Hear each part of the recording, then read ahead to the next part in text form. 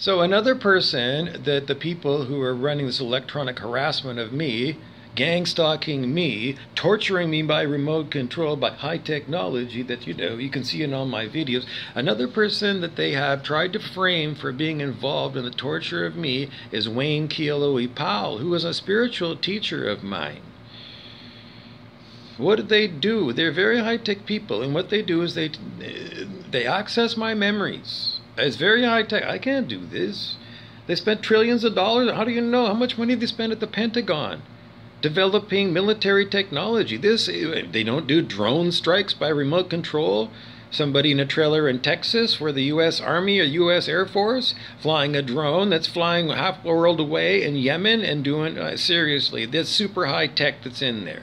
So don't kid yourselves. And certainly, do I sound like I got schizophrenia right now? I don't have schizophrenia. I don't have mental problems. I'm electronically harassed, and I have been for years. Why? Because of my politics. I want to change the world. I want to get rid of the 1%. I want to get rid of the whole political economy and what we hear. I want to have a gift economy. I am being the change that I want to see on this planet. Me. I'm using in my mouth over and over again Charles Eisenstein's book, Sacred Economics, The Gift Economy. He's got a roadmap off capitalism. I can't live in this capital, capitalist nightmare and what they pay me and the exorbitant prices that I have here. This is all electronic harassment, and I can't talk. So Wayne Kealohi Powell is in my memory bank somewhere. And this high tech shit, it means surely it's deep state in the USA. Somehow it's related to Pentagon. Somehow it's got to be Martin Marietta and Raytheon. It's got to be these big companies that make these enormous military hardwares. And now they're, I don't know, they got rogue elements somewhere. Somebody's got a hold of this machine and they've targeted me because they're the one percenters. Hillary Clinton, perhaps his her people, somebody who's really, you know, the Hillary Foundation. You got to look up Clinton Body Count. I can't tell you again. And when I say that, that's King Clancy. That's one of their fucking electronic devils. And in any event, I can't link the Clinton Foundation to anything criminal. It's all conspiracy theory, and they want to give it that I'm telling you the truth, and telling the truth. I don't know who's doing this to me. But they go into my memories and they grab a memory of Wayne Kealohi Powell, my spiritual teacher, and then they took his voice and they beamed it electronically into at me through their software and turned him into an electronic devil. That's what they did. They took a, a voice of a. Uh, there was an old voice that was always used on commercials in Canada, especially for things like beer. And they took an engram of that. It's called an engram. E E N G R A M. Engram. And we learned this word a long time ago in the original Star Trek. Uh, there was an episode called The Ultimate Computer. And uh, the computer scientist, Dr. Daystrom, used his own mind. He took a, a map of his mind, uploaded his mind uh, somehow, and then used that mind of his as the engram for building this supercomputer. It's right there, and that was like 1967. They were thinking about doing that kind of technology. So this idea is not new. 1967.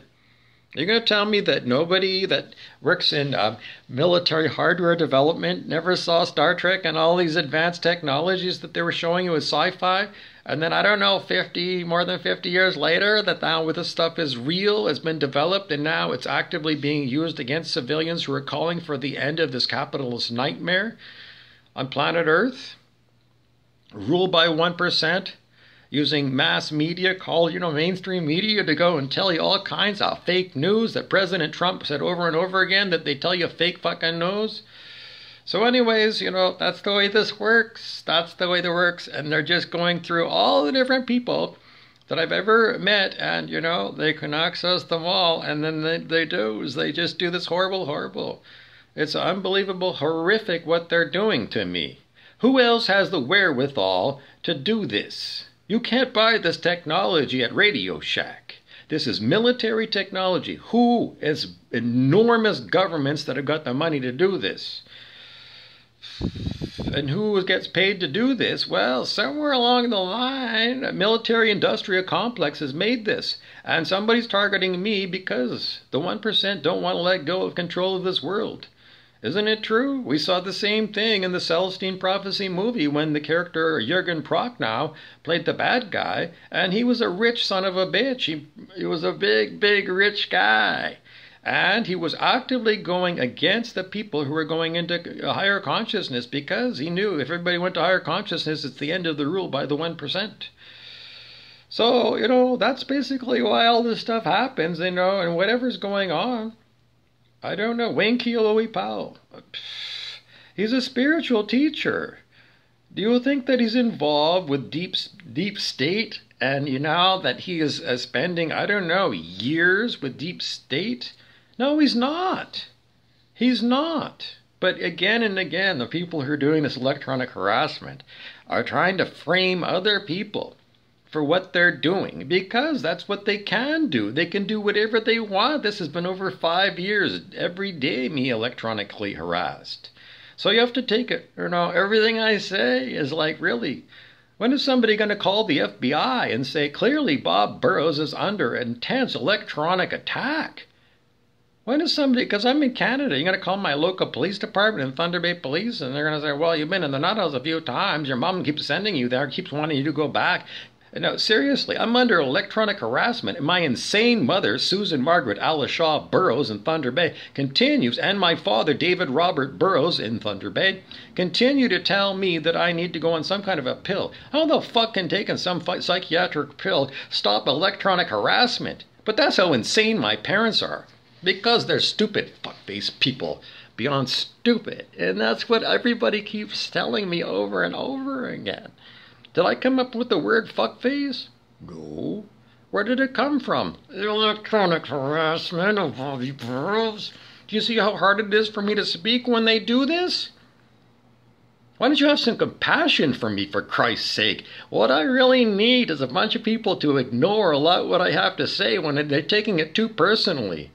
You know, if you're taking it personally that I'm calling you a fuckface when I've been tortured for five fucking years, I mean, seriously, you got emotional problems that you can't say sticks and stones won't break my bones. But my, when I say to my mom, it's like, well, fuck, mom, you know, I've been tortured for five fucking years. When are you gonna wake up with a horror nightmare this is, and then you add on even more fucking horror when you and your, you and my dad and my my whole family and my everybody turns against me because you all think I'm insane. And meanwhile, there's like so many truckers that are what they were all parked in Ottawa against Justin Trudeau because he's a what? He's the one. He's the New World Order Prime Minister of Canada, and then in America, a huge convoy. Uh, truckers are going across the USA to go to Washington to do the same thing because they want to throw out the swamp in Washington. The people have had the biscuit with that, and all these fucking people, Justin Trudeau ordered the cops to go and what? To tell the Canadian people that he's a fucking dictator. I can't help you out. When are people going to wake up to the fact that the government is fucking run by evil fucking people? Stop denying it for Christ's sake and look at me. It's been how many fucking videos have I made? Do you think this easy for me to be this? All I keep asking from my mom and dad is I need a place to live, and for Christ's sake, I can't do it when I'm under electronic harassment. My parents are fucking devils. They're the worst fucking devils. They're fucking horrible to their only son. A lot of people know Dave Burrows in Thunder Bay because he was a big boss at Great Lakes Paper. So I want you to go and circulate this because there's a lot of people that need to call Dave Burrows up at 622 3078. 807 622 3078. That's his phone, home phone number. You need to call that number 807 622 3078 and say, I watched that video of your son asking for help. Dave Burrows, Susan Burrows, why won't you help your son?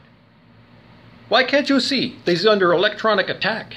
Why can't you say to yourself, regardless of what the hell else is going, this guy needs somebody to step up and get him a place to live because it's fucking 20 below. It's fucking winter in Thunder Bay. And I got nobody helping me out.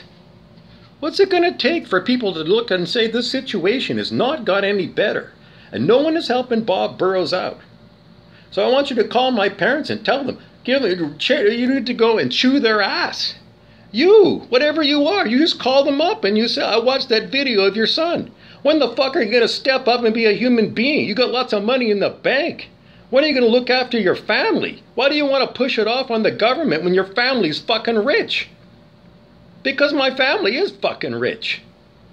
Why do they push it off on the government? And the government, well, maybe, you know, you go through all these hoops all the time, you might get like a thousand bucks a month. How the fuck am I going to live?